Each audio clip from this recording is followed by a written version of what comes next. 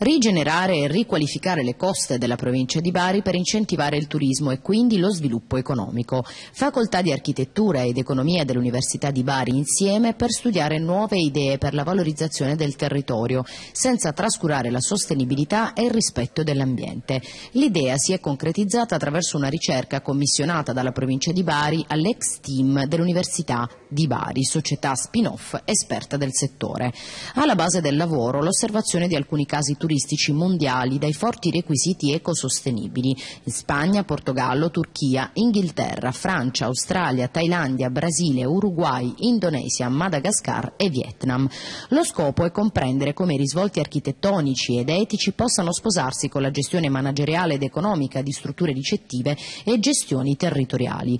Insomma, a partire da una serie di esempi pratici, gli esperti hanno studiato come concepire la costa con meno vincoli urbanistici, specie quelli di leggi ormai vetuste, ma nel rispetto totale delle caratteristiche tipiche della terra di Bari. Per fare ciò sono stati presi in considerazione alcuni parametri, come ad esempio il flusso turistico delle aree sottoposte ad analisi, l'osservazione della concorrenza presente sul territorio e l'incidenza economica che il turismo ha avuto nella regione Puglia e nella provincia di Bari durante il periodo di osservazione, in modo da capire quali siano state le performance economiche del settore all'interno di economie di altri paesi differenti dalla nostra.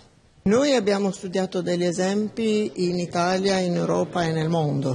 Abbiamo, usato, abbiamo visto che ci sono esempi in, in Inghilterra, ci sono esempi in Australia, ehm, dove queste strutture ricettive mirano più alla qualità diffusa dell'architettura e ehm, sfruttando quelli che sono i materiali locali e eh, sfruttando anche i sistemi di eh, ecosostenibilità come un, il tetto in paglia o il pavimento di sabbia, eh, perché no? Eh, l'importante è avere qualità e non eh, impattare la costa.